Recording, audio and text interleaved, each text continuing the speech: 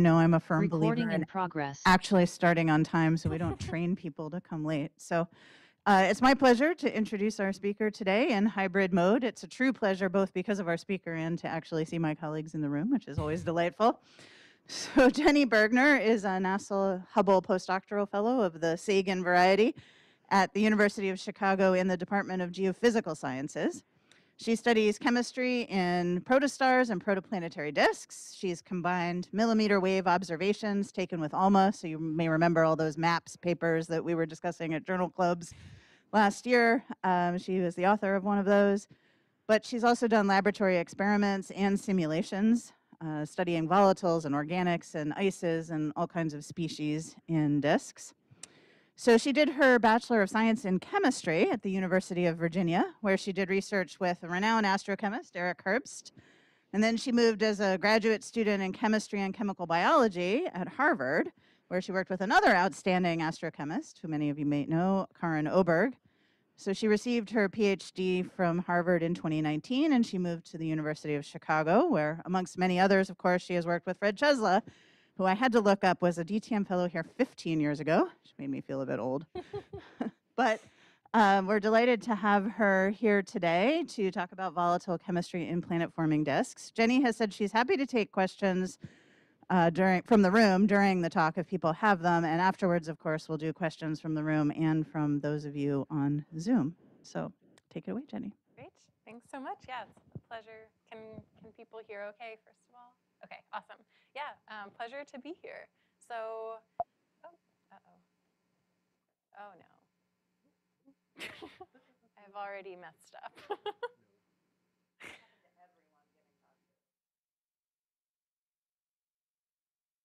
okay, I can go for Okay, great.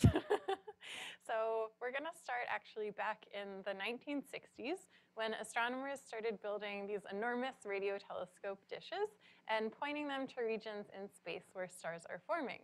And much to their surprise at the time, they started detecting organic molecules. So it was first little things like ammonia, formaldehyde, and hydrogen cyanide, and then soon they were detecting bigger, more interesting things like methanol, uh, cyanoacetylene, and acetaldehyde. So in the early 1970s, there was this flurry of review articles describing this newly discovered interstellar organic chemistry. And in these articles, the um, authors, oh no.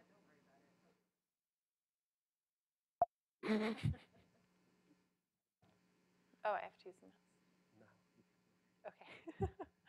um, in these articles, the authors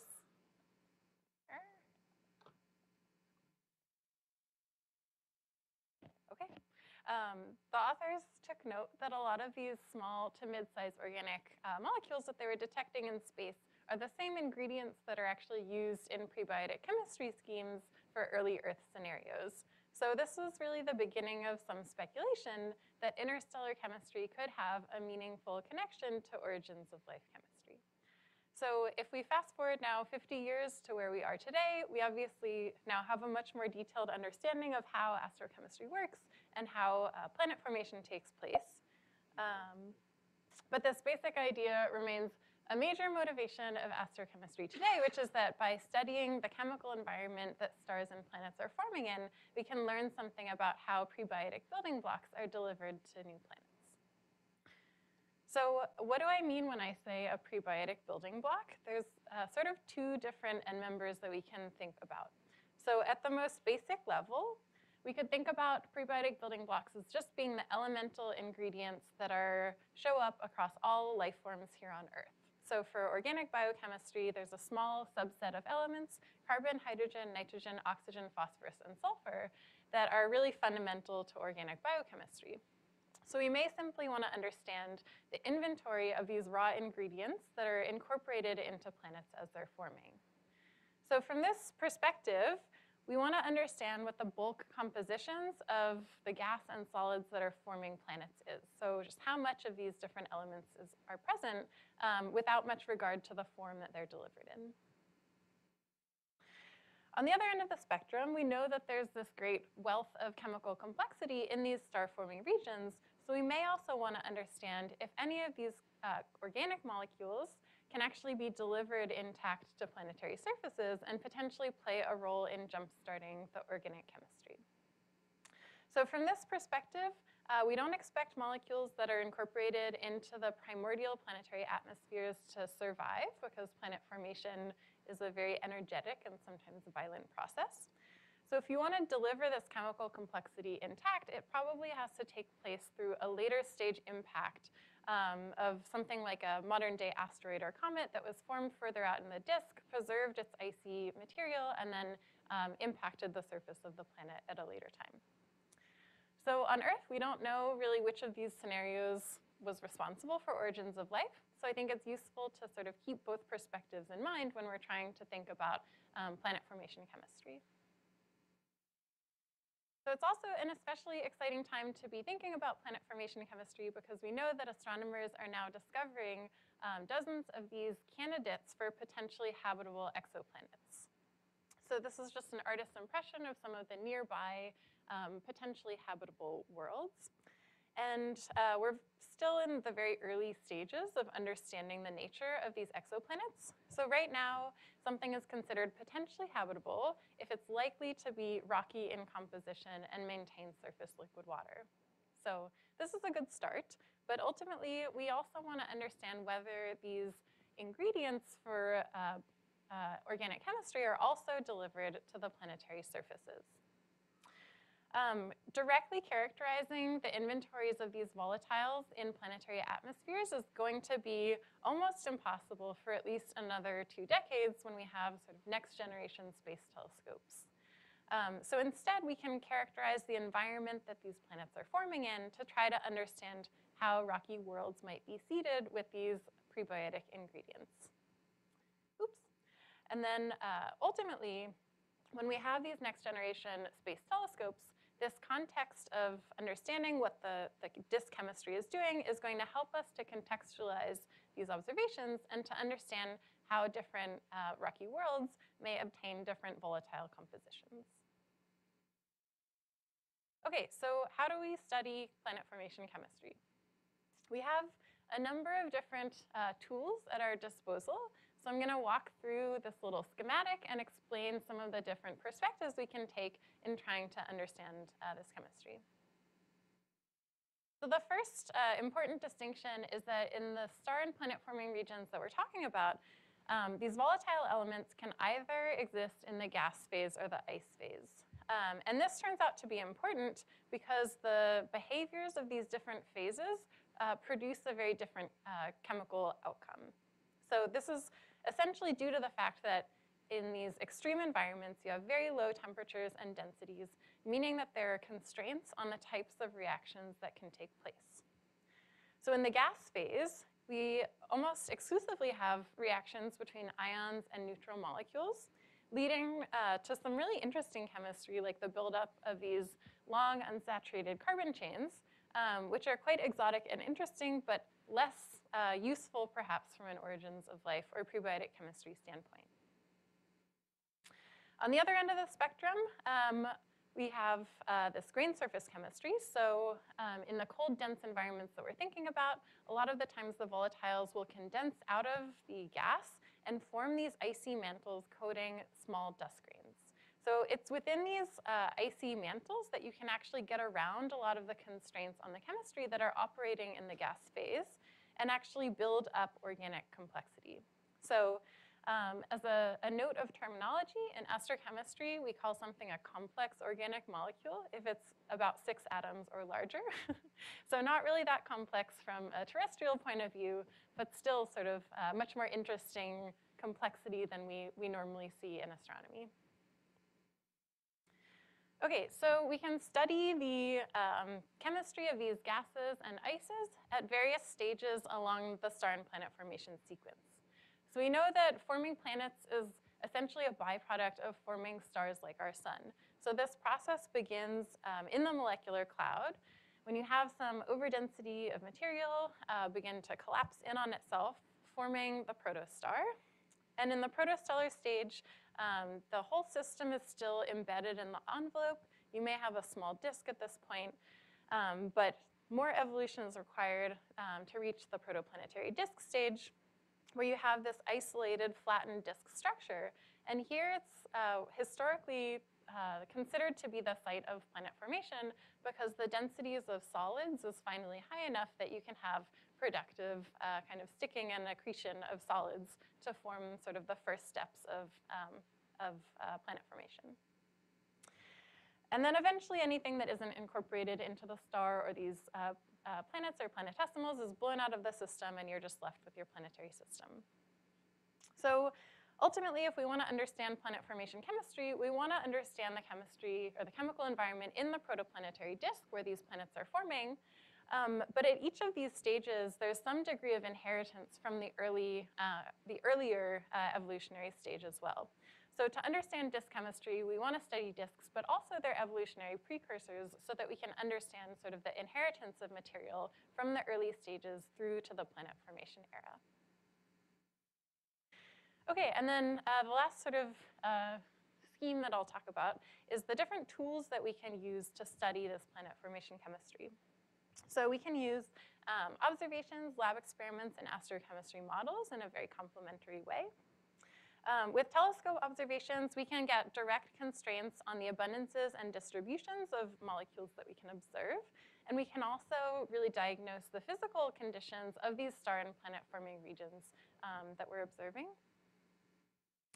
In the lab, we can make really uh, robust measurements of uh, the microphysical and chemical processes that are uh, kind of taking place in these extreme environments using very controlled um, equipment and then we can use astrochemistry models to make predictions for how these processes actually play out in much more complex, uh, realistic environments. Okay, so you can see that we have uh, basically a lot of different pieces of information that we can bring to this question of planet formation chemistry. And I'm gonna be using this as a guide throughout the talk where basically we'll take, um, can you see? No, can't see the mouse, that's okay. We'll basically take one segment from each layer of this wheel depending what question we're trying to address. So you'll see how this works as we go. Okay, so as a roadmap for where we're going with the uh, science part of this talk, I'm gonna start by uh, talking about how chemical complexity can be built up in the very early stages of star formation. We'll move on then to thinking, um, what if this early chemistry actually can survive the formation and evolution of the disk? And then lastly, we'll talk about whether the disk stage itself is playing any important role in reprocessing this volatile material, material as planets are assembling. Okay, so starting with this first question. Um, something that was really surprising to me when I started in this field is the fact that these complex organic molecules are actually commonly detected even in the earliest stages of star formation. So these are incredibly cold and energy poor environments and it's not actually obvious how you would have enough energy around to build up these larger, more complex molecules. So um, because we're talking about organic chemistry, we have to consider what's going on in the ices to understand how this chemical complexity is emerging. Okay, so within these astrophysical ices, there are a variety of different microphysical processes that mediate the formation of different molecules. So there are um, processes that populate and depopulate the ice with different molecules, so accretion and desorption from the grain. Within the ice, there uh, you can have molecules diffusing or reacting to form new molecules. And then there are also photo processes like dissociation or photo-induced desorption um, that can also contribute in some environments. So ultimately, we need to understand how each of these different processes works in a very controlled way to, to explain sort of the overall picture of how molecules can form in different interstellar environments. And fortunately, we can actually mimic these extreme conditions in the lab to study the chemistry um, in a very kind of cold space-like condition. So this is the uh, setup that I worked on during my PhD. It's an ultra-high vacuum system, so we can get um, pressures down as low as about uh, 13 orders of magnitude below atmospheric pressure and temperatures as low as 10 Kelvin. So we're really mimicking the low density, cold environments that star and planet formation takes place in. So this is just a schematic showing uh, some of the uh, different tools that we use within this um, setup. So essentially, we have the helium cryostat that's connected to a cesium iodide window. It's cooling this window down to these very low temperatures. And then we can make uh, different gas mixtures and release them uh, into the chamber through this gas inlet, forming a volatile ice on this cold window. And then we can use infrared spectroscopy to actually uh, monitor the composition of the ice phase material over the course of an experiment. Um, we have a QMS that's monitoring the background composition in the gas. And then if we need a light source, we can use something like a, a UV lamp. So that's sort of the experimental setup. And the question that was very uh, compelling to me when I was in grad school was trying to understand how uh, or what kind of ice phase pathways can actually contribute to organic complexity even in the coldest interstellar regions. So I'm just going to talk about um, one example today that we think is showing um, particular promise, and this is chemistry that involves excited state oxygen atoms. So for those of you who are not familiar with, um, uh, as familiar with chemistry, essentially um, when you energetically process uh, common oxygen-bearing ice molecules like CO2 or water, you naturally tend to produce um, an oxygen atom that's in an electronically excited state. So we call these O singlet D atoms. So in the uh, example where you break apart CO2 with a Lyman alpha photon, you would form CO and then one of these excited oxygen atoms. So in the gas phase, we know that these excited oxygen atoms have a very special property where they can actually insert directly into the CH bond of hydrocarbons to form an organic molecule directly from a hydrocarbon. So in the case of methane, you would insert an oxygen into one of those bonds to form methanol directly. So in the gas phase, we know that uh, this type of chemistry has no energy barrier, so it's very uh, kind of thermally accessible, and you have a very favorable formation of your organic product. But in the gas phase, you actually can't stabilize that product, so it tends to fall apart into radical fragments and doesn't actually help you to build up chemical complexity. So uh, what we wanted to understand was how this type of chemistry uh, proceeds in the solid state and whether having some sort of uh, uh, matrix effect could sort of rescue this molecule from falling apart. Okay, so we had to design an experiment that would let us really kind of isolate the reactivity of these excited oxygen atoms um, uh, within an ice mixture. So what we do is we make a mixture of methane and O2 ice, and then we can irradiate it with light, but basically filter out the wavelengths that will dissociate methane.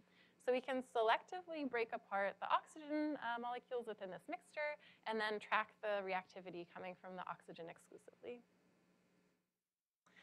So in order to understand uh, the energetics of this process, we need to model the kinetics. So what this looks like, I'm showing um, on the top uh, the infrared spectrum over the course of an experiment where you can see the methanol growing um, in the infrared, and then this is just quantified on the bottom in a growth curve. So with this type of experimental um, measurement, we can fit a simple kinetic model that just describes the reaction rate of forming uh, your organic product. And then you plot this reaction rate constant on what's called an Arrhenius plot, um, where you plot the rate constant as a function of temperature. So the idea here is that the slope of this plot is proportional to the activation barrier of the reaction.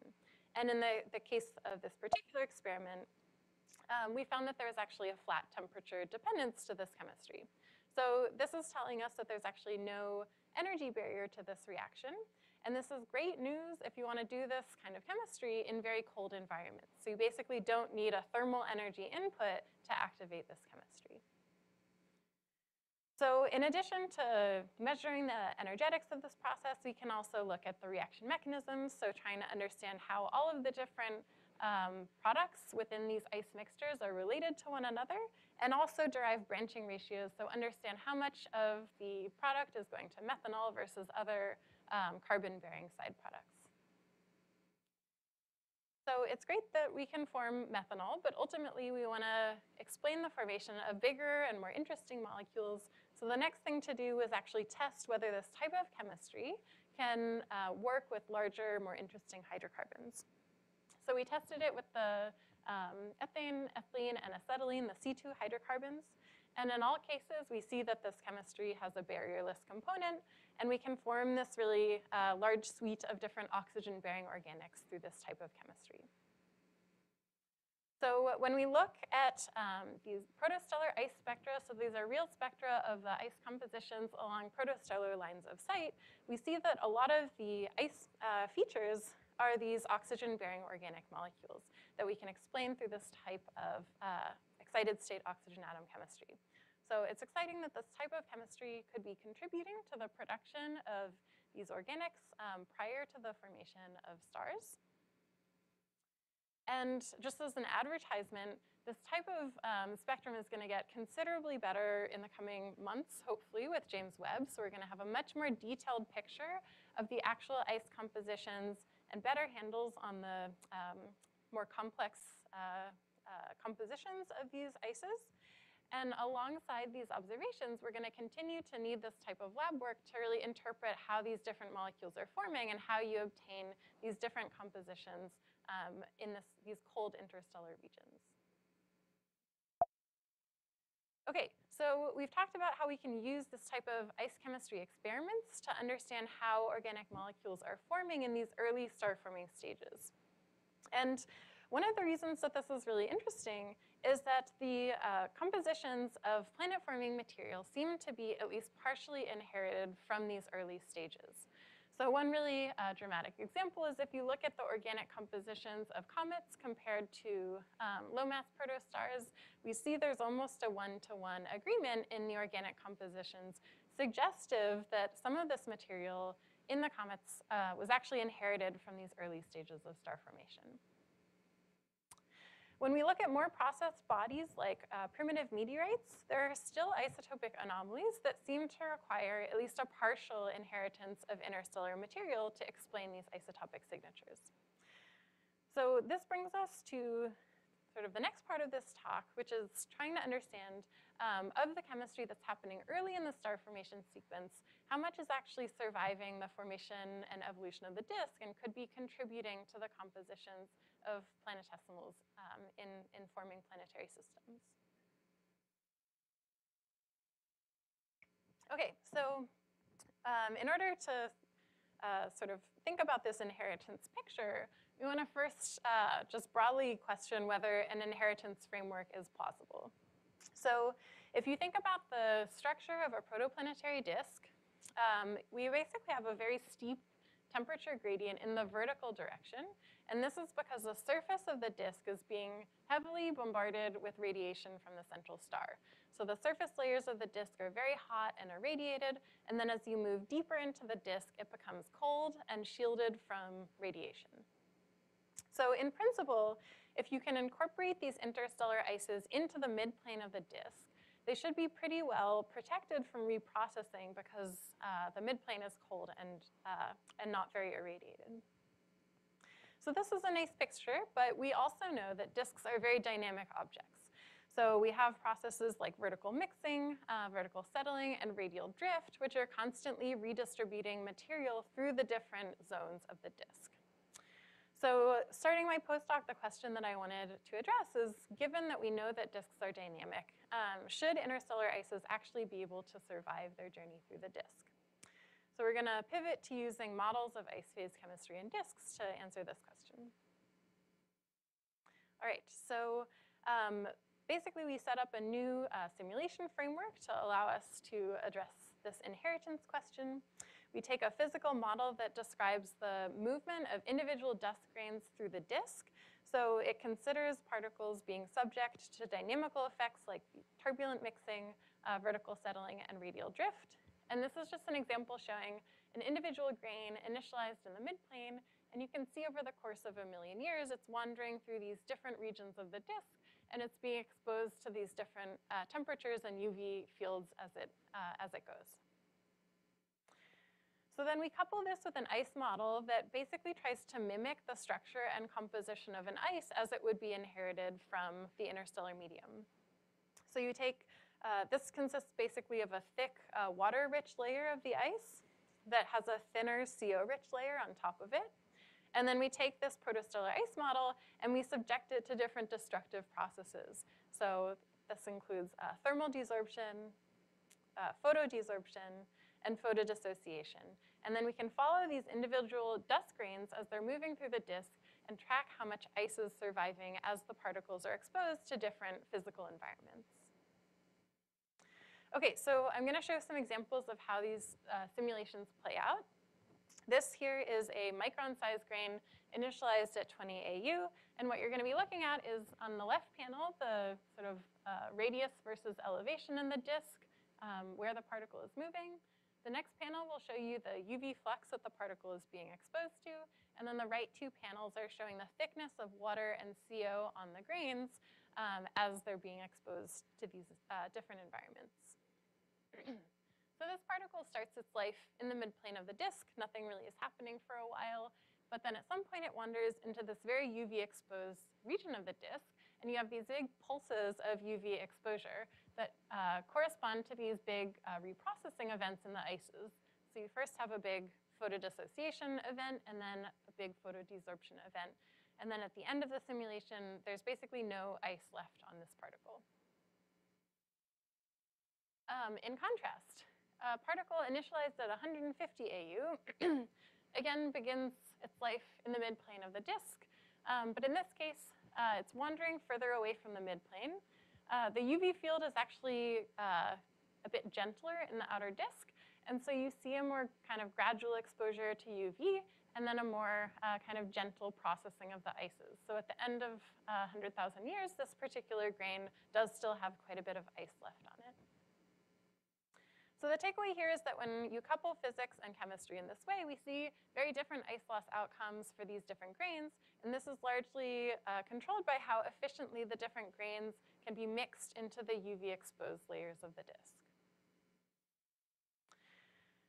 Okay, so here's uh, a little schematic showing the different physical trajectories for the particle models that we ran, where we basically are looking at um, uh, particles initialized further out in the disk going left to right, and then the grain sizes become, uh, go from smaller to larger as we go from top to bottom.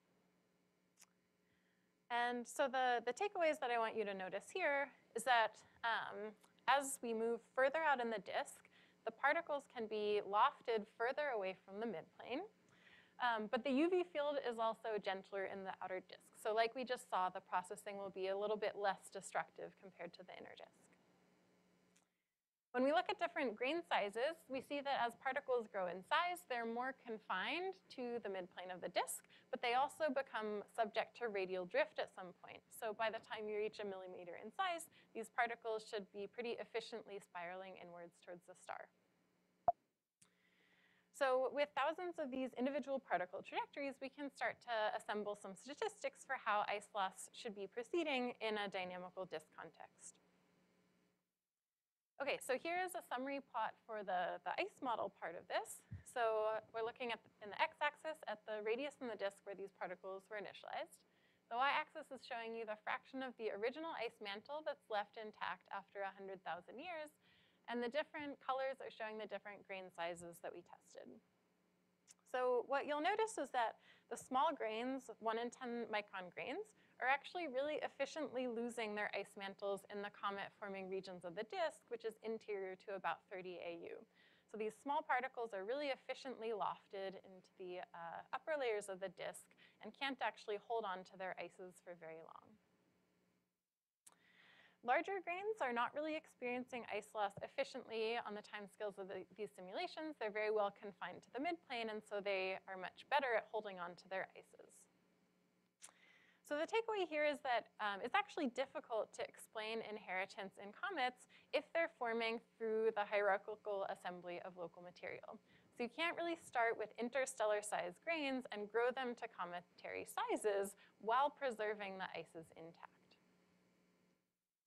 Instead, what we think is a more plausible pathway to explain the inheritance signatures is to grow small grains to larger grains further out in the disk and then drift them inwards to the comet-forming region. So if your particles are growing in the outer disk, they might lose 10 or 20% of their original ice reservoir, but then they'll grow in size, and once they become pebbles, they'll drift inwards towards the star, bringing this uh, pristine interstellar material with them. So this framework of pebble drift and pebble accretion is uh, gaining steam across the planet formation community as a way to explain um, efficient planet formation. And I think it's really nice that here we have sort of a totally independent um, uh, way of inferring that a similar physics was at play in these primitive icy bodies based on their chemical signatures. Um, I think this is also really nice because by providing an actual plausible scenario for how this inheritance might be taking place, uh, we're sort of solidifying the link between interstellar chemistry and a potential delivery of this material to planetary surfaces uh, via impacts. Okay, so that then brings us to the last uh, question of this talk, which is trying to understand um, whether this material is being reprocessed in the disk and what sort of the, the role of the disk is in ultimately setting the compositions of these uh, volatile planet-forming materials. Okay, so here we're going to pivot to using gas phase observations of protoplanetary disks. It's a very exciting time to be doing uh, disk chemistry observations, thanks in large part to ALMA. So um, it sounds like you guys have discussed ALMA a little bit, but for those who are unfamiliar, it's an interferometer in Chile that's giving us um, exquisite spatial resolution and sensitivity for doing this kinds of uh, disk chemistry observations. So what we're looking at here is the same um, molecular line imaged towards the same disk with the SMA, uh, with ALMA operating at sort of moderate capabilities, and then ALMA operating at its full potential. And you can just see how much detail we can pick out in the distribution of molecules within disks now. So both the sensitivity and the spatial resolution is really allowing us to understand disk chemistry in, in a new way. Okay, so in my very biased opinion, one of the most exciting things to come out of the early days of ALMA was the first detections of these complex molecules in a protoplanetary disk. So methyl cyanide was detected in 2015, uh, followed a year later by methanol.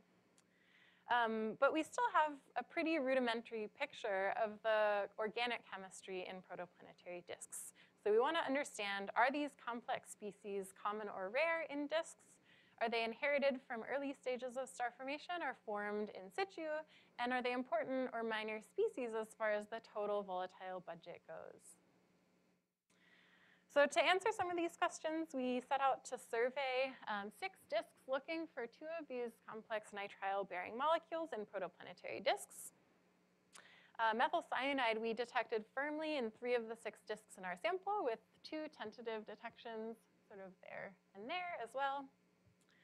Um, and cyanoacetylene we detected firmly in five of the six disks in our sample. So I think it's exciting that now that we actually have the sensitivity to go looking for these bigger, more complex molecules, we're finding that they're actually quite common in protoplanetary disks. Um, so we can, we can do more. We can actually quantify how important these nitrile-bearing organics are as sort of uh, carriers of the nitrile bond um, in the disk. So to do this, we do an abundance retrieval. We take a physical model of the disk that describes the temperature and density as a function of position, and then we can fit a simple uh, radial abundance profile um, to the disk. So we end up having some synthetic um, emission profiles that we can fit to our observations, and we can pull out then these radial abundance profiles uh, that look like this. So what you're seeing is on the x-axis, the radius of the disk, on the y-axis, we're looking at the abundance of the two complex nitriles relative to the simple nitrile, HCN. And what you'll see is in the inner 100 AU of these disks, methylcyanide accounts for between 1 and 10% of the HCN, or with respect to HCN, and cyanoacetylene is actually as abundant as HCN in parts of this disk. So the takeaway here is that these complex nitriles are actually relatively important carriers of the nitrile bond. And in other words, if we want to understand sort of the full picture of volatile chemistry in protoplanetary disks, we have to be paying attention to the complex molecules as well as the simple ones. Okay, so we can now compare how this uh, protoplanetary disk chemistry compares to earlier stages of star formation. So here I'm showing the methyl cyanide to methanol ratio, where methanol is just the oxygen-bearing analog of methyl cyanide. And in the three disks where we either have a detection of both molecules or constraining upper limits, we see that the abundance ratio is about unity. When we look at the abundance ratio in the previous evolutionary stages, we're looking at a one to two order of magnitude jump in the methyl cyanide to methanol ratio over actually a very short period of time. So the nitrogen organic chemistry in protoplanetary disks seems to be strongly enhanced um, relative to, to earlier stages of star formation. Okay, so there's a pretty compelling framework to explain uh, what we're seing. And it basically has to do with how the physical evolution of disks is coupled to the chemical evolution. So the idea is in a young disk, you have small particles that are sort of distributed throughout the extent of the disk, and these small grains have ices on them. So as the grains grow, they settle to the midplane, and they bring these icy reservoirs with them. And this leads you to actually sequester a lot of the icy material in the midplane. So you end up with a midplane that's very rich in things like water ice, and then the atmosphere of the disk is left uh, depleted in gas phase oxygen.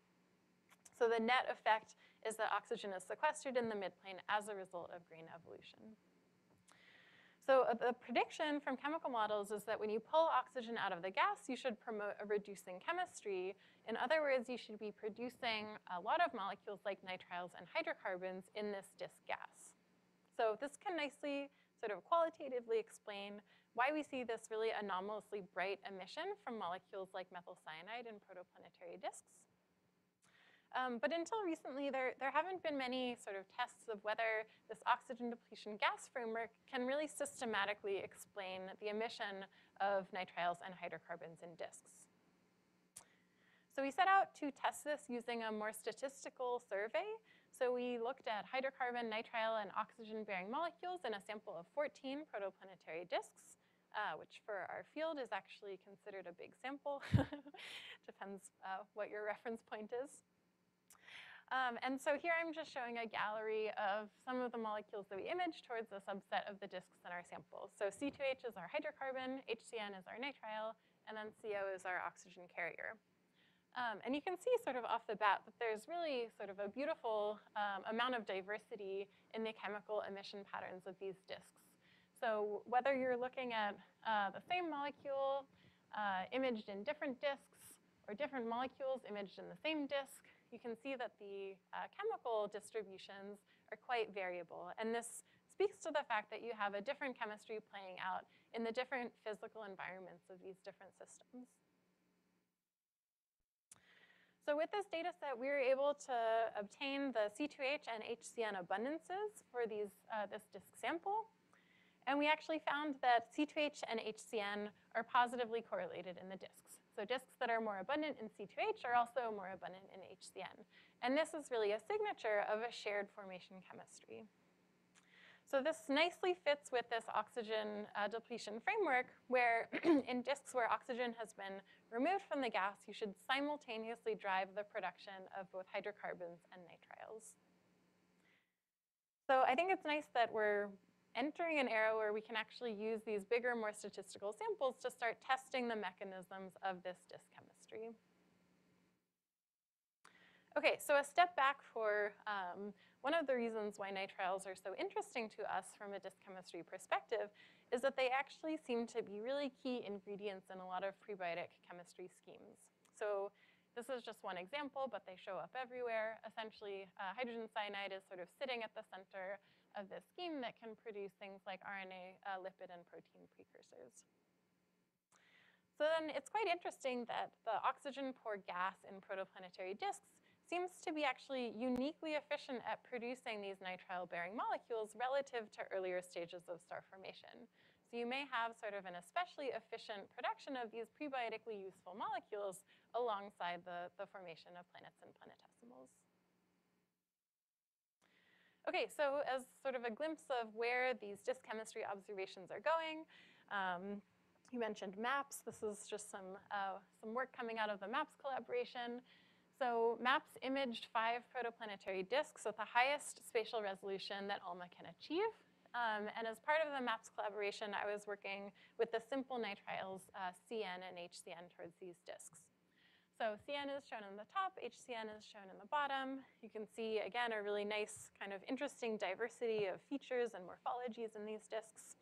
And we can use this data to try to understand how the nitrile chemistry is varying across these disks, and also to try to understand the mechanisms of what's producing uh, the different nitrile carriers. Okay, so as an example of what this high resolution data can do for us, here I'm showing uh, the CN to HCN ratio as a function of radius in the disk. Um, and this allows us to really see the, the radial variations in how these uh, nitriles are being produced that wasn't really possible with previous lower resolution observations. Okay, so you'll notice some trends here. Um, first of all, the sort of most notable thing I think is that the CN to HCN ratio in all five disks increases from the inner disk to the outer disk by one to two orders of magnitude. So there's a big change in the CN to HCN abundance ratio radially within each of these disks. So this actually is a feature that was predicted for a long time. Um, the idea is that in a protoplanetary disk, as you get further from the star, the dust density decreases, and so UV should actually be able to penetrate closer to the midplane as you move further out in the disk. Now, if you consider CN and HCN, um, HCN is not stable to UV. When it uh, uh, observes a photon, it tends to break apart and actually produce CN. And CN is UV stable. It doesn't really care if there's UV around. So if you imagine some small, uh, small nitrile population in your disk, uh, you would expect to preferentially uh, produce CN in the outer disk that has more UV exposure and to have more HCN in the inner disk where it's uh, more shielded from UV. So this is actually uh, quite consistent with what we're seeing now observationally, that the uh, CN is relatively more abundant in the outer disk, telling us that UV photochemistry is probably driving the production of nitriles in the gas phase. Okay, so in addition to these large-scale trends, we also see some sort of small-scale features. These are also really interesting to try to understand uh, what they're telling us.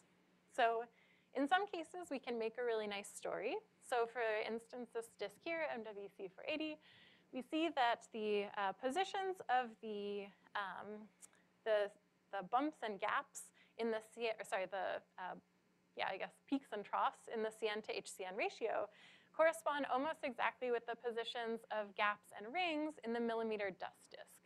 So this is exactly what we'd expect uh, from what I was just saying, that in the presence of um, dust gaps, you have more UV penetration, increasing the CN to HCN ratio at these gap positions. Okay, so that's a nice story, but that's actually kind of the anomaly. so in most cases, we don't really see a universal relationship between the presence of these dust features and the CN emission features.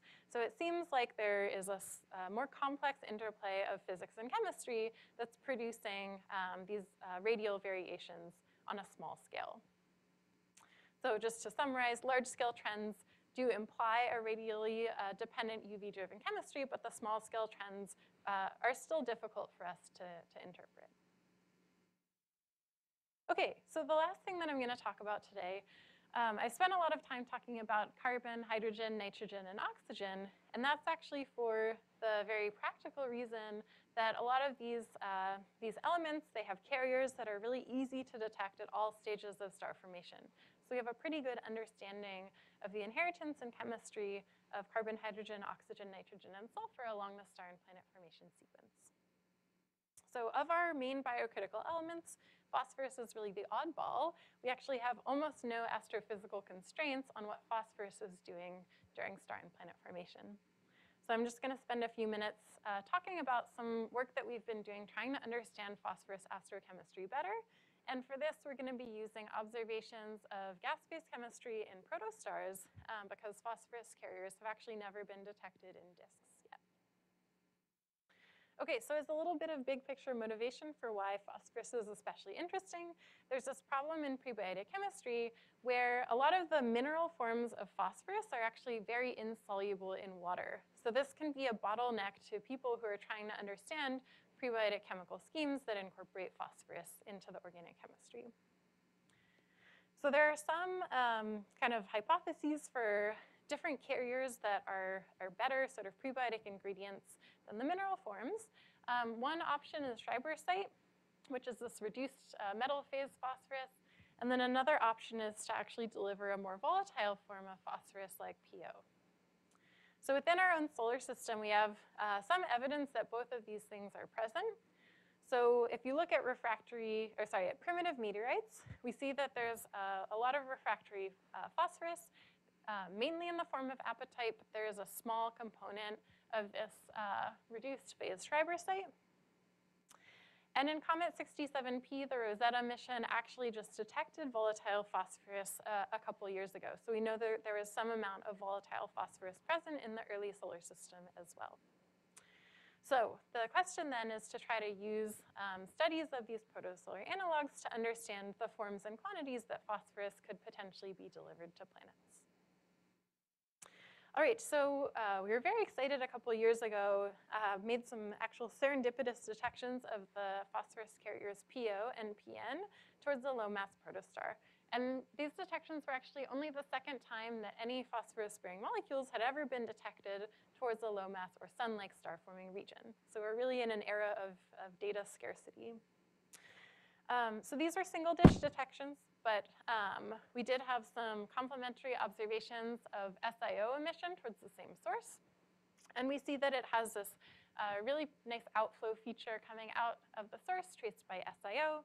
So sort of speculated that the phosphorus in the source is stored in a refractory carrier and is released into the gas within the outflow shocks um, that you see sort of co-spatial with SiO. So based on uh, this hypothesis, we actually uh, led a, a, fishing expedition looking for PO and PN towards some additional low mass uh, protostars where we understand the outflow properties very well so we can try to understand sort of the energetics of what's actually releasing uh, the phosphorus into the gas. Um, and this led to three new detections of phosphorus molecules um, with the IRAM 30 meter. So the sample is growing. We're now beginning to be able to look at some preliminary uh, demographics of the phosphorus astrochemistry and try to understand what properties of the sources and the outflows are correlated with the presence of phosphorus in, in these protostars. Um, but what's even more exciting, in my opinion, is uh, ALMA uh, observations of phosphorus molecules in these sources. So this is um, the same original source B1A where we are able to map the emission of PO and PN in the source. Um, and the first thing that we wanted to understand was whether the emission is actually coming from the outflow like we suspected. So we can put up the same uh, image of SiO, and we actually see that it's not a perfect overlap. So in the south, there's maybe some uh, co-spatial emission, but in the north, the phosphorus molecules are coming from adjacent to the outflow, not from within the outflow itself. So that was a puzzle. Um, we also covered a, uh, a tracer, uh, CCS, which traces very dense, pristine interstellar material. And we found this uh, very kind of filamentary-like structure traced by CCS that you can see in orange. And the morphology of it suggests that the regions where phosphorus is in the gas is where the outflow is intersecting with this dense interstellar filament. So it's at these interaction regions where phosphorus is coming into the gas, suggesting that you need not just an outflow, but some shocking of this pristine interstellar material for us to see it in the gas. Uh, we can also look at other tracers. So we covered ice tracers like SO2 and methanol. And in, uh, in this case, we see that the phosphorus molecules are quite co-spatial with these ice sublimation tracers. So whatever uh, kinds of energetics are putting these ices into the gas um, are also putting the, the phosphorus molecules into the gas. So based on these patterns, we can actually try to um, make some speculation of what the grain carrier of phosphorus is. So here I'm showing a, a volatility plot where um, things are moving from uh, more refractory on the top to more volatile on the bottom. And for reference, you're looking at water and, and silicates. Okay, so we know that the parent phosphorus carrier should be more volatile than the silicate material. Otherwise, we would see it co-spatial with the SiO and not with these ice tracers. Um, we also know that the parent phosphorus carrier should be less volatile than simple ices. And the reason for this is that we've never detected phosphorus molecules towards regions like hot cores where you have thermal sublimation of ices into the gas. So it seems like you need uh, uh, more energy than just releasing uh, water. So if we think about some of the candidate uh, phosphorus carriers that could be responsible for this gas phase emission, we have phosphorus oxides, mineral phosphates, and metal phase uh, phosphorus. And we actually rule out that metal phase phosphorus is the parent carrier because its volatility is too similar to silicates. So if that was the parent, then we would expect it to look more like SiO than like those uh, weaker shock tracers. So we speculate that uh, the, the phosphorus carrier is either some phosphorus mineral or phosphorus oxides. Um, and in general, I think this uh, avenue is really exciting that we can actually use these spatial patterns to try to understand uh, the identities of these semi-refractory grain carriers. Okay, so the last thing we wanted to do is sort of uh, try to use these observations to understand the origin of this volatile phosphorus that was detected in cometary ices. So we know that in the earliest stages of star formation, the dense cloud phase, uh, phosphorus is not present in the gas phase at all. So all of the phosphorus is hidden in a, a solid form in the early stages. So the, the volatile phosphorus that was detected in the comet is probably not sourced from this earliest stages of star formation. Um, instead, we think that the protostellar stage itself may be playing an important role in basically volatilizing some of these refractory or semi-refractory phosphorus materials, converting it to this gas phase phosphorus carrier where we detect it as PO or PN, and that this material could then recondense and be incorporated into comet-forming materials, explaining the detection of this volatile phosphorus in Comet 67P. Um, so consistent with this interpretation, we can look at the volatile phosphorus abundance in this protostar B1A compared to Comet 67P. And uh, it seems like they're sort of to first order consistent in abundance. In both cases, the sort of total volatile phosphorus content relative to methanol um, is a few percent in both the protostar and the comet. All right, so just a summary of, of what we've talked about today. Started by um, describing how chemical complexity can actually be built up even in the early cold stages of star formation, and we can use lab experiments to try to understand the mechanisms that are producing this chemically complex material in ices. Then moved on to thinking about um, what of this early chemistry can survive the formation and evolution of the disk, and what is a plausible framework for explaining the inheritance of the, this icy material even in a dynamic disk context. And then lastly, we talked about the role of reprocessing within the protoplanetary disk stage and how thanks to the coupling between physical and chemical evolution, we have this very uh, reducing chemistry leading to the efficient production of molecules like nitriles and hydrocarbons in the disk compared to earlier stages of star formation. Um, so with that, I will just summarize that uh, we have all these uh, amazing different tools at our disposal for understanding this chemistry. And by putting these different pieces together, we're trying to get a more complete picture of the environment that planets are forming in. So with that, I'm happy to take questions.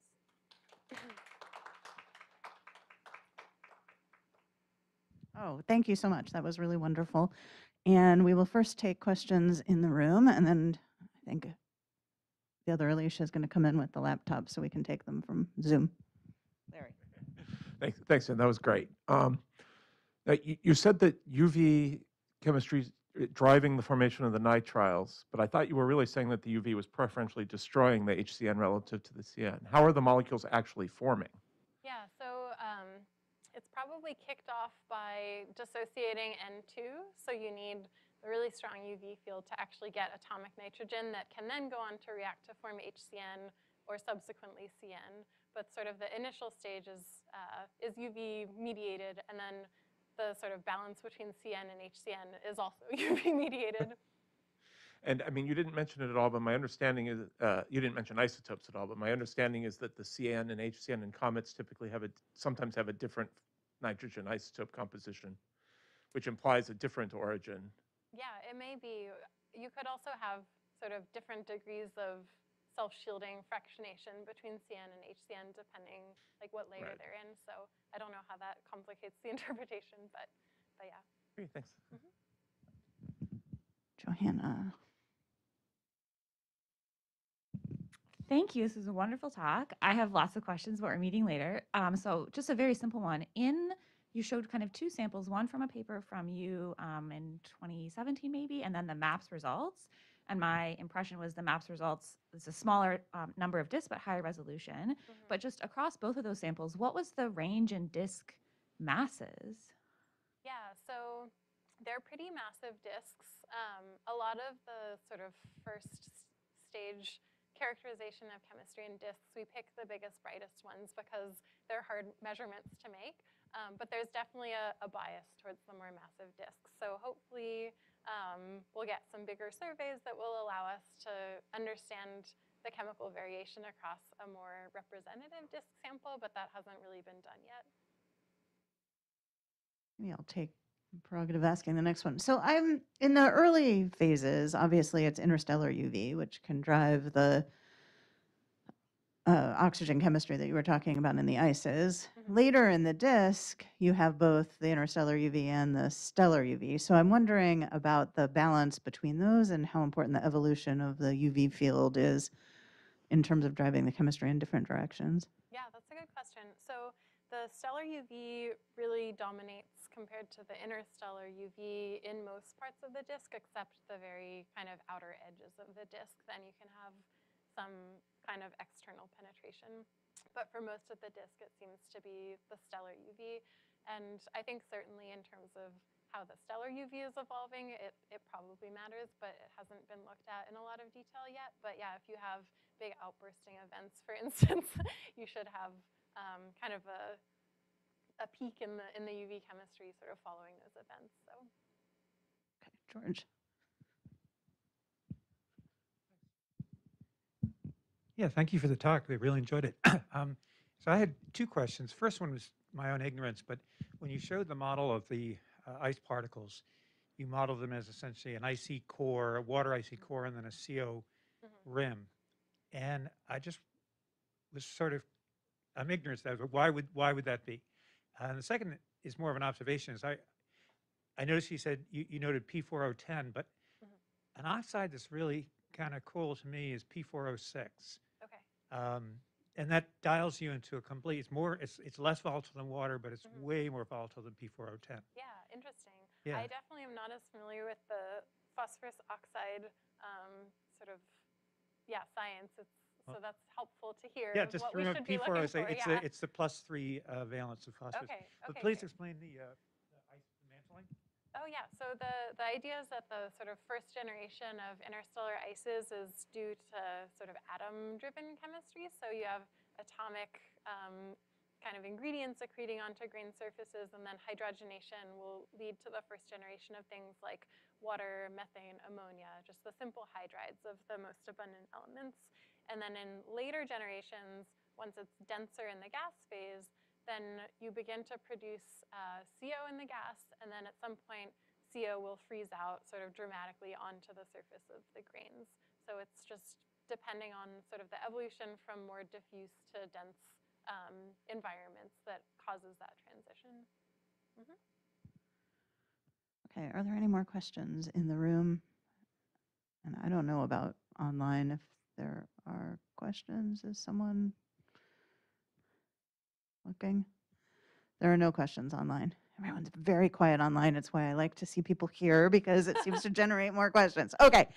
Um, there are other opportunities to talk to Jenny this afternoon. In particular, she and I are going to go grab lunch and bring it back and sit outside here and eat. So if you'd like a ride up to the Little Red Fox to get lunch with us, you're welcome to to nab me after the talk, or you're welcome to just bring your lunch and sit with us outside Greenwald afterwards. And um, I think there are also some still some slots for dinner. I have an outdoor reservation at Leah's at Friendship Heights tonight, so it'll be warm, but it'll be outdoors. So if you're welcome to join us then. Otherwise, I think her schedule is pretty booked this afternoon. So thank you for signing up for those slots. Uh, let's thank Jenny again because that was really a great talk.